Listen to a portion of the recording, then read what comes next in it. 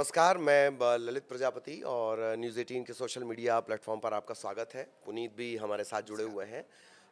आजकल एक देश है बहुत चर्चा में है। वो कह रहा है कि कभी उसे ब्रिक्स का हिस्सा बनना है फिर कभी वो कहता है कि मुझे शांति करवानी है फिर कभी वो कहने लगता है कि जो सारे इस्लामिक कंट्रीज़ हैं वो एक हो जाएँ। तुर्की की बात हो रही है।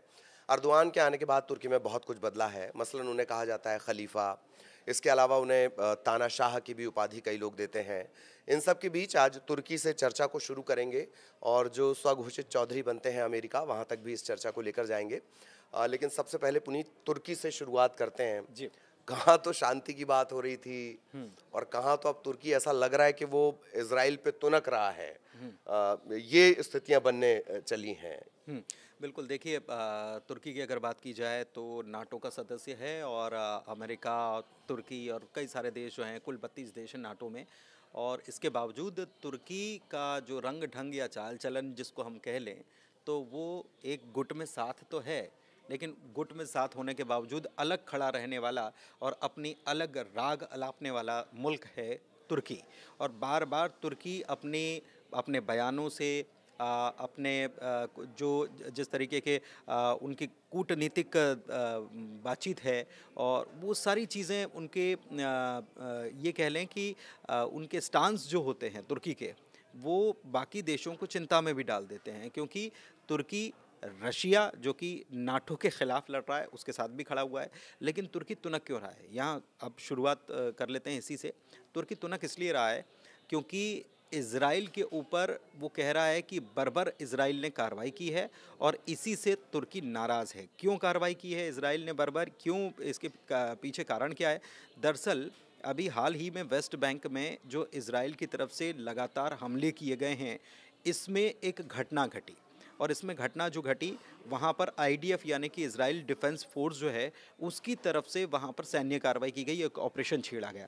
यहाँ पर इस वेस्ट बैंक के इलाके में दरअसल एक कैंप स्थापित या एक बस्ती स्थापित करने की कोशिश की जा रही थी, यहूदी बस्ती। इसको लेकर यहाँ के लोग विरोध कर रहे थे और विरोध कर रहे थे और वो हिंसक हो गया। ये इसराइल का कहना है कि वो हिंसक हो गया और इसके बाद आईडीएफ ने सैन्य कार्रवाई की। आईडीएफ ने सैन्य कार्रवाई की और कुछ लोगों को गोली मारी गई। इसमें सबसे बड़ी बात एक है कि इसमें आई आइसेनोर एक्जी ईगी ये एक महिला का नाम है, जो कि तुर्की और अमेरिकी मूल की ये महिला है, दोनों दो देशों की उसके पास नागरिकता है, उसकी मौत हो गई और उसको गोली मारी गई सर में और इसी को लेकर तुर्की नाराज़ हो गया है और तुर्की अब ये कह रहा है कि गंभीर परिणाम इसराइल को इसके भुगतने पड़ेंगे।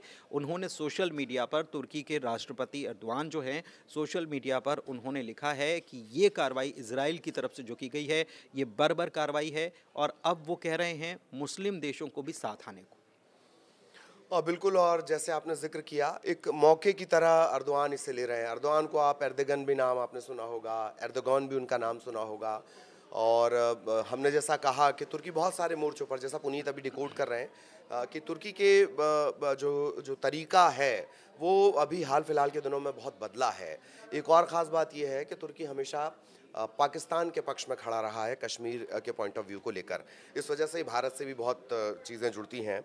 अब क्या वाकई पुनीत युद्ध जैसी स्थिति बन गई है? और अगर युद्ध जैसी स्थिति बन गई है, तब क्या होने वाला है? देखिए युद्ध जैसी स्थिति तो बन रही है, क्योंकि तुर्की, आप जान ही रहे हैं, तुर्की के बारे में आप मुझसे बेहतर समझ रहे हैं। आपने बताया भी कि तुर्की के जो स्टांस हैं या तुर्की के जो उसका चाल चलन या उसका जो रवैया है, वो ऐसा लगता है कि वो साथ में तो खड़ा है, लेकिन फिर भी बाहर अपने आप को अलग दिखाने की कोशिश करता है। सबसे बड़ी बात ये कि तुर्की जो है, वो मुस्लिम ब्रदरहुड को अब बढ़ावा दे रहा है। और ये इसराइल की तरफ़ से आरोप भी लगाया जाता है कि ईरान हो या तुर्की हो एक दूसरे को सपोर्ट कर रहे हैं। तो इसराइल भी ये मान रहा है और तुर्की की तरफ़ से अगर ये कह दिया गया है कि जो हमला आपने किया, ये बर्बर था और आपको गंभीर परिणाम भुगतने होंगे तो उसका मतलब हम समझ सकते हैं कि एक बड़ा युद्ध छिड़ सकता है और तुर्की और इसराइल आमने सामने हो सकते हैं। हालाँकि दोनों देशों की दूरी बड़ी ज़्यादा है और करीब 1200 किलोमीटर की दूरी दोनों देशों के बीच में है। अगर मैप पे देखेंगे तो उसमें साफ़ हो ही जाएगा।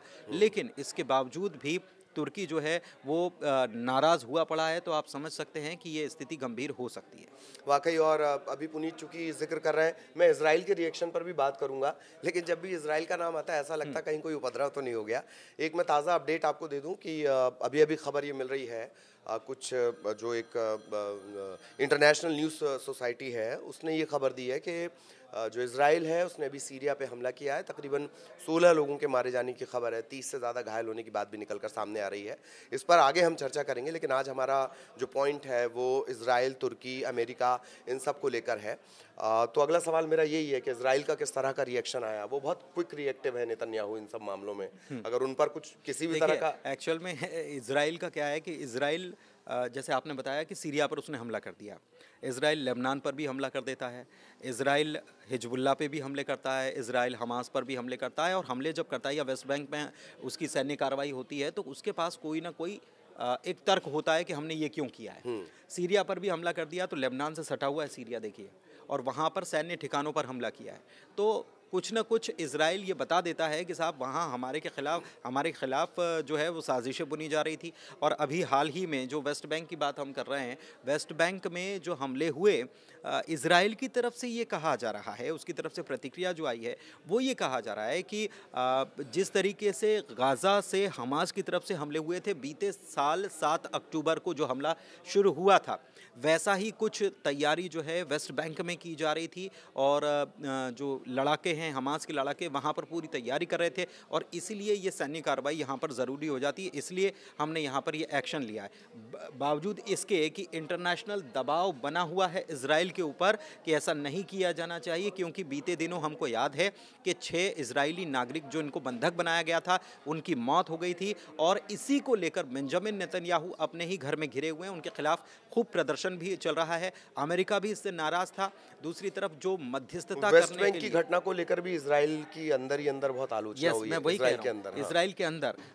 क्यों? क्योंकि लाखों लोग सड़क पर उतर आए और ये कह रहे हैं कि बेंजामिन नेतन्याहू जानबूझ करके युद्ध को छेड़े हुए हैं उसको लंबा खींचने की कोशिश कर रहे हैं अपने सत्ता में बने रहने की कोशिश कर रहे हैं क्योंकि बेंजामिन नेतन्याहू सबसे लंबे समय तक पद पर रहने वाले वहाँ के प्रधानमंत्री हैं।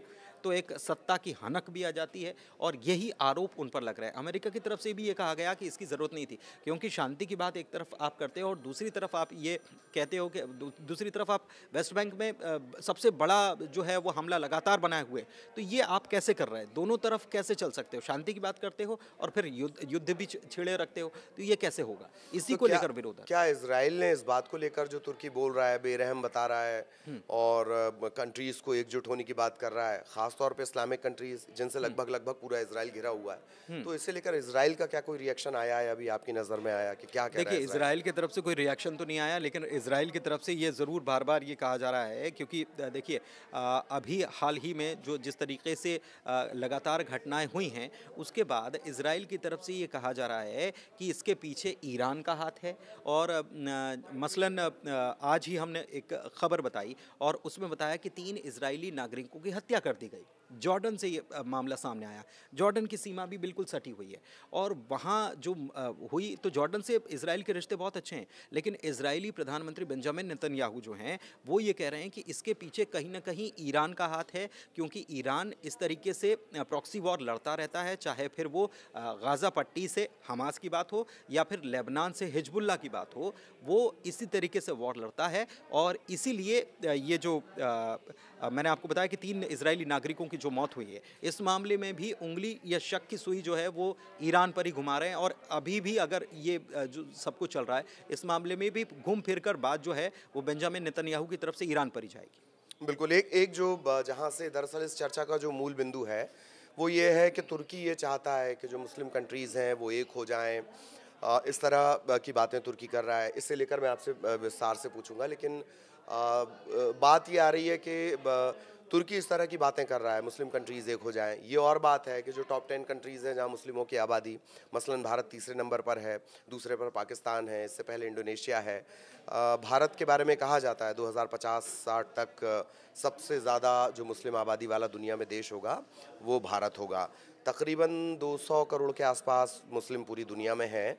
तो तुर्की क्या क्या इन सबको एकजुट करना चाहता है अपना दबदबा बताना चाहता है? 2020 के आसपास अगर मैं गलत नहीं हूँ तो उसका सऊदी अरब से इस बात को लेकर विवाद भी हुआ था। अच्छा सऊदी अरब के दबदबे की एक वजह है। मुसलमानों की जो सबसे पवित्र जगह है मक्का मदीना वो दोनों सऊदी के पास हैं। और सऊदी काफ़ी हद तक एक खुले हुए मुल्क की तरह उसका व्यवहार रहा है। अब मैं वापस इसी पॉइंट पे आ रहा हूँ कि तुर्की ये सब कर क्यों रहा है? देखिए, तुर्की जो है, अब अभी अगर बात कर ली जाए तो अर्दवान जो हैं, वो ये कह रहे हैं कि इसराइल का बढ़ता प्रभुत्व और जो इसराइल अपनी पावर को बढ़ा रहा है, उसको रोकने के लिए सारे मुस्लिम कंट्रीज़ को एक होना होगा। और ये वही बात है जो ईरान की तरफ़ से इसके पहले वक्त में कही जाती रही है। और जो आप, सऊदी अरब की जो बात बता रहे हैं तो देखिए सऊदी अरब का सीधा हिसाब है बिज़नेस बिज़नेस से दुनिया चलती है पैसा आता है पर्यटन को बढ़ावा मिलता है सारी चीज़ें हैं तो वो उसके ऊपर फोकस किए हुए लेकिन और वो इस मुस्लिमों के नाम पे अर्दवान भी तो करना वही चाहते हैं उसी बिज़नेस की बात है वो कह रहे हैं हमको ब्रिक्स में ले लो एक तरफ़ हम्म, हम्म। अर्दवान कह रहे हैं हमको ब्रिक्स में ले लो वो नाटो में भी हैं वो नाटो में भी हैं हाँ। अब वो कह रहे हैं कि सारे मुस्लिम कंट्री एक हो जाए हाँ। अब जब ये बात आएगी तो ओ भी इसमें आ जाएगा हाँ। और OIC में दखल ज़्यादा सऊदी अरब का है वो एक्चुअल में वो एक्चुअल में क्या है कि वो तुर्की जो है अब नया तुर्क बनने की कोशिश में लगा हुआ है कि हम हाँ। इस तरफ़ भी रहेंगे हम उस तरफ़ भी रहेंगे हम इनके साथ भी रहेंगे हम उनके साथ भी रहेंगे। क्योंकि बीते अगर कुछ वक्त की बात कर ली जाए तो तुर्की ने अपने आप को डेवलप किया ख़ास तौर पर अगर सैन्य उपकरणों की बात कर ली जाए या फाइटर जेट्स को बनाने की बात की जाए तो वो अमेरिका को कहीं ना कहीं टक्कर दे रहा है। और अगर सैन्य ताकत की भी बात कर ली जाए तो सैन्य ताकत में पूरी दुनिया में ग्यारहवें नंबर पर है तुर्की। तो आप ये समझिए कि तुर्की अब अपने आप को वो चाहता है कि एक नया बॉस वैश्विक प्रभुत्व। हाँ, वैश्विक प्रभुत्व अपनी दिखाने की कोशिश कर रहा है वो। अच्छा एक तरफ़ ये नेटो में है वो ठीक है कि अमेरिका डांटता रहता है इसराइल को कभी कभार पर अंदर खाने तो बड़ी गहरी दोस्ती है अमेरिका और इसराइल की नहीं लेकिन देखिए अभी हाँ। अभी अंदर खाने दोस्ती है लेकिन अभी जो छः इसराइली मारे गए उसके बाद और ये ये जो वाक़ हुआ वेस्ट बैंक वाला जो जिसके बारे में हम ज़िक्र कर रहे थे जिसमें तुर्की अमेरिकी नागरिकता दोहरी नागरिकता वाली महिला हाँ। जिनका नाम है आइसे नूर एग्जी ईगी हम्म। इनकी जो हत्या हुई है इनको जो मार डाला गया इसमें चूँकि ये अमेरिका मूल की भी थी तो दो मुल्क ऐसे हैं अभी तक हमको जो, अगर वहाँ के नागरिक को कुछ हो जाता है तो सबसे ज़्यादा टेंशन में आ जाते हैं। जैसे इसराइल पहला तो है और अमेरिका उसके पहले है ही। हाँ, अमेरिका फ़र्स्ट उसकी हाँ, पॉलिसी अमेरिका फ़र्स्ट उसकी पॉलिसी भी रही है। तो एक तो ये नाराज़गी दूसरी बात की छः अब अब वैश्विक दबाव इसराइल पर बढ़ता जा रहा है। बीते कुछ दौर दिनों में देखा जाए तो वैश्विक दबाव इस लिहाज से बढ़ रहा है कि लगातार अमेरिका भी ये कह रहा है कि शांति स्थापित हो जाए हमास से जो है युद्ध ख़त्म हो जाए। फिर दूसरी तरफ़ ब्रिटेन ने भी अपनी सैन्य मदद जो ब्रिटेन की तरफ़ से दी जाती थी हालाँकि ब्रिटेन डायरेक्ट डील नहीं करता है। ब्रिटेन डायरेक्ट डील नहीं करता हथियार नहीं सप्लाई करता है लेकिन ब्रिटिश कंपनियाँ उनको निर्यात का लाइसेंस देने का काम करता है। तो उसको भी क्योंकि ये ब्रिटेन भी मान रहा है कि अंतर्राष्ट्रीय मानव अधिकार कानूनों का उल्लंघन हो सकता है इन हथियारों के दम पर। कुल मिलाकर प्रेशर बनाने का खेल ये पूरा चल रहा है और तुर्की भी यही कर रहा है। तुर्की भी इनडायरेक्ट प्रेशर बनाने की कोशिश कर रहा है इसराइल के ऊपर। भाई ये बहुत अच्छी बात लगती है अमेरिका की या जो हथियार का धंधा करते हैं। ये इतनी मासूमियत से मानवाधिकारों की बातें करते हैं और हथियार धड़ल्ले से सप्लाई करते हैं खैर तो क्या ये माना जाए आपने ब्रिटेन का ज़िक्र किया आ, अमेरिका का ज़िक्र किया अंदर खाने से इसराइल में वैसे ही विरोध प्रदर्शन लगातार बढ़ रहे हैं हम्म। वो चाह रहे हैं कि बंधकों की रिहाई होनी चाहिए शांति की मेज पर बैठकर हम्म। क्या नेतन्याहू की स्थितियाँ लगातार बिगड़ती जा रही हैं हाँ बिल्कुल नेतन्याहू की स्थितियाँ जो हैं वो लगातार बिगड़ती जा रही हैं प्रेशर बढ़ता जा रहा है और हमले दर हमले आप आपने जैसे बताया कि सीरिया पर हमला कर दिया उधर लेबनान भी बिल्कुल सटा हुआ है उधर एक हमला और हो गया जो कि हमने आपको बताया कि तीन इसराइली नागरिकों की हत्या हम्म। कर दी गई तो एक वो मामला है, गाज़ा पट्टी जो है वहाँ पर पहले ही चल रहा है, वेस्ट बैंक में चल रहा है। तो हर तरफ़ से, और फिर घर के अंदर ही घिरे हुए हैं। लोग मान रहे हैं कि नेतन्याहू युद्ध को जानबूझ के खींच रहे हैं, वो शांति नहीं होने देना चाहते हैं और युद्ध को जानबूझकर छेड़े हुए हैं। तो ये सारी चीज़ें जो हैं, अमेरिका की तरफ़ से दबाव बनाया जा रहा है। युद्ध शांति की बात कही थी कि नौ दिनों तक शांति अलग अलग क्षेत्रों में शांति। लेकिन उम्मीद तो यही की जा रही थी ना कि शांति हो। जबकि हैरानी की बात यह है कि बेंजामिन नेतन्याहू, आप सोचिए कि अमेरिका के विदेश मंत्री ब्लिंकन जो हैं वो लगातार लगातार दौरे कर रहे हैं कि शांति स्थापित हो सके। मिस्र लगातार कोशिश कर रहा है शांति स्थापित हो सके। कतर लगातार कोशिश कर रहा है कि शांति स्थापित हो सके। लेकिन फिर बेंजामिन नेतन्याहू कह रहे हैं कि अभी हम उस स्थिति में पहुँचे नहीं हैं कि शांति की बात हो सके। वो ये कह रहे हैं कि हम उस लेवल पर या उस बिंदु तक पहुँचना चाहते हैं। आप समझ रहे हैं कि युद्ध हम अभी भी बंद नहीं करेंगे और इतना तोड़ देंगे इतना तोड़ देंगे उसके बाद फिर शांति की बात होगी। एक प्रकार से उनका इशारा यही हो रहा है। अच्छा ए, एक लास्ट क्वेश्चन कि अगर जंग के हालात बन रहे हैं फिर से दो मुल्कों के बीच टेंशन जैसी स्थितियाँ आ रही हैं हम्म। तब कौन किस पर भारी? देखिए कौन किस पर भारी? तो ग्लोबल फायर पावर एक रैंकिंग होती है। साल 2023 की ग्लोबल फायर पावर की अगर बात कर ली जाए तो इसराइल का नंबर इसमें 145 मुल्कों की ये ग्लोबल फायर पावर होती है। आ, इनकी लिस्ट है। इसमें इसराइल का नंबर अट्ठारहवें नंबर पर है जबकि तुर्की का नंबर ग्यारहवें नंबर पर है। एक तो ये बात हो गई। दूसरी बात कि तुर्की जब मुस्लिम देशों को साथ में लाने की बात कर रहा है तो हो सकता है कि कुछ मुस्लिम देश साथ में ना भी खड़े हों तब भी अगर देखा जाए तो सीरिया जिसके ऊपर हमला कर दिया एक खबर ये आती है ईरान पहले से है लेबनान पहले से है और यमन ये सब भी साथ में तुर्की के आकर खड़े हो सकते हैं। और ये बदकिस्मती से सब पड़ोसी अड़ोस पड़ोस में है अड़ोस पड़ोस में आप देखिए ना सबसे बड़ी बात क्या है कि दुनिया कितनी बड़ी है। आप और हम अभी ज़िक्र कर रहे थे जब मैप में सारे सब कुछ देख रहे थे दुनिया इतनी बड़ी है लेकिन दुनिया का पूरा का पूरा फोकस कहाँ? मिडिल ईस्ट पर जाकर टिक गया है। वहाँ पर देश आपस में उलझे पड़े हैं। सबसे बड़ी बात है कि इसराइल कहते ना कि आप ही ने पिछली बार जब हम बात कर रहे थे कि पड़ोसी हम चुन नहीं सकते पड़ोसी तो हमको मिलते हैं हाँ। तो पड़ोसी मिले हैं और पड़ोसी मिले हैं और पड़ोसियों से ताल्लुक़ अच्छे रखना चाहिए लेकिन वहाँ तो लगातार भिड़ंत हुई जा रही है और अगर देखा जाए तो इसराइल में ही वेस्ट बैंक भी उसी के अंदर का हिस्सा पड़ता है। वहाँ पर भी लगातार बम छोड़े जा रहे हैं रॉकेट छोड़े जा रहे हैं ड्रोन से हमले किए जा रहे हैं सैन्य कार्रवाई की जा रही है तो ये सब क्या चल रहा है? मतलब बड़ी हैरानी होती है वहाँ की तस्वीरें देख आप सोचिए कि किस हालात में वहाँ के लोग किस भय में वहाँ के लोग जी रहे हैं। बिल्कुल सही बात है पड़ोसी हम चुन नहीं सकते।